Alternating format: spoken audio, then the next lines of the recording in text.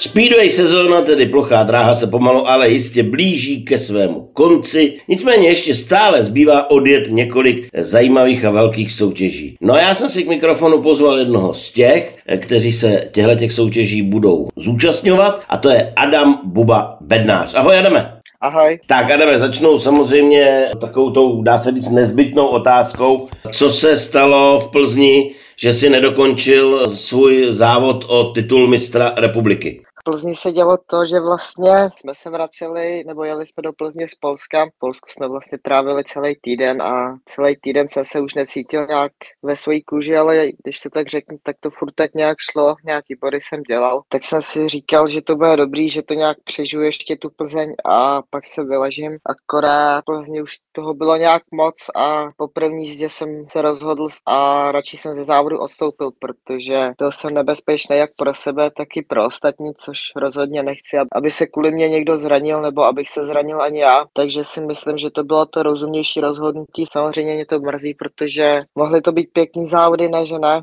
Šlo o titul mezi mnou a Honzou, ale zdraví je jenom jedno a vyšetření vlastně ukázalo, že mám zánět průdušek. Jinak ten, o kom byla řeč, tak byl Honza Kvěch, který se nakonec stal i mistrem republiky. Přál jsi mu to, nebo si říkal, tak když už nemůžu já, tak ať to má někdo třetí? Ne, ne, ne, to vůbec ne. Tak Honza si to zaslouží. S Honzou máme docela dobrý kamarádský vztah.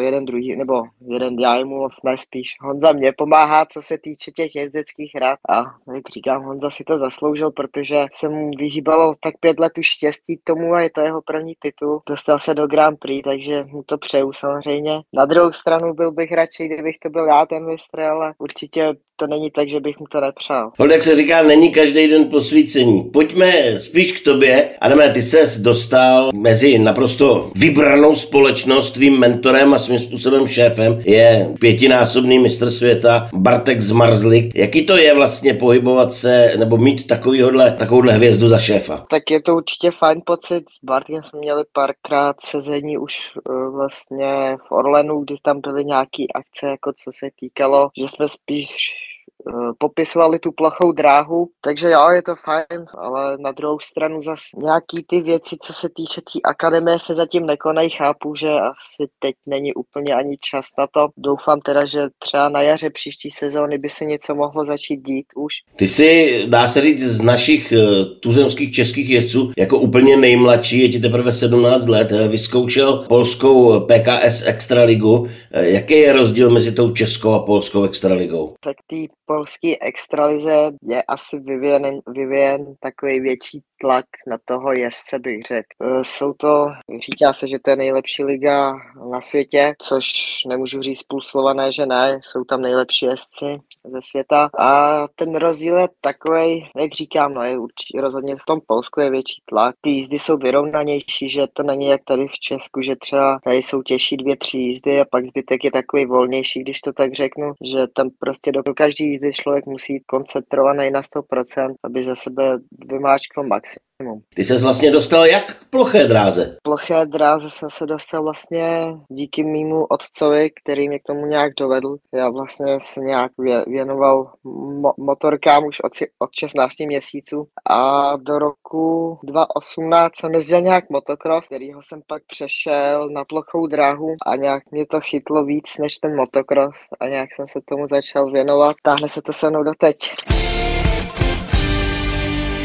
Co doma? Co říkají na to, že lítáš na motorce, která je, lítá 120 a nemá brzdy? Tak doma to nějak určitě zkoufsávají. Já naštěstí doma úplně nejsem, takže úplně nevidím, jak oni to tam prožívají, ale jsem v kontaktu občas s mámou nebo s tátou, takže myslím si, že to berou oba dva úplně v pohodě. No říkáš, že občas se vidíš s mámou, s tátou, eh, takže ty tím, jak jsi furt v tahu, tak tebe se vlastně netýkají takový ty běžný teenagerovský povinnosti jako vynášení koše, mytí nádobí a podobně. Taky se mě to samozřejmě týká, určitě ne tak často.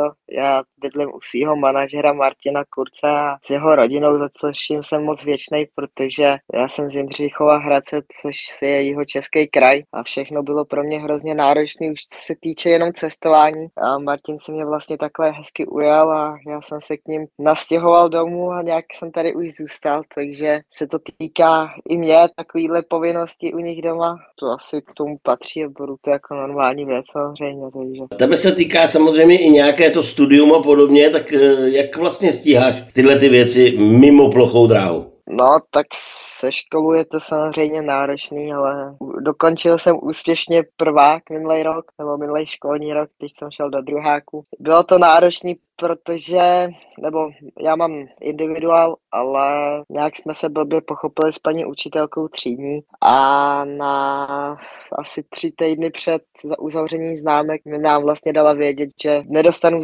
známku z osmi předmětů z 12. To bylo takový nepříjemný. Na druhou stranu bych jí chtěl taky moc poděkovat mojí paní učitelce třídní, protože to, co pak pro mě udělala, taky se snažila udělat pro to maximum, aby, aby mi pomohla a ulehčila. No taky, taky, taky jmenuj, neboj se. Marcela Homolková, moc jí děkuji za to. Pomohla mi taky vlastně rodina eh, manželka Martina a známí tady naše, takže jsem nějak takovým způsobem ukončil ten první ročník naštěstí. No. Pomalu ale jistě se blíží takový nekurunovaný vrchol naší eh, plochodrážní sezóny. To je nejslavnější pouťák eh, všech dob a to Zlatá přilba města Pardubice. Eh, den předtím je ještě Zlatá stuha. Budeš se zúčastnit obou závodů nebo si se rozhodl, že pojedeš jenom jeden, anebo tenhle ten víkend vynecháváš vůbec? Pojedu oba dva závody, jedu jak Zlatou stuhu, tak Zlatou přilbu. Moc se na to těším, ve to pro mě bude premiéra vlastně vlastně z toho pojedu po druhý a uvidíme, no, to toho očekávat či neočekávat, to nevím, ale rozhodně se na ten víkend těším. No, bývá tam pravidelně vyprodáno, samozřejmě, když je dobré počasí, i když v Pardubicích třeba pamatuju, snad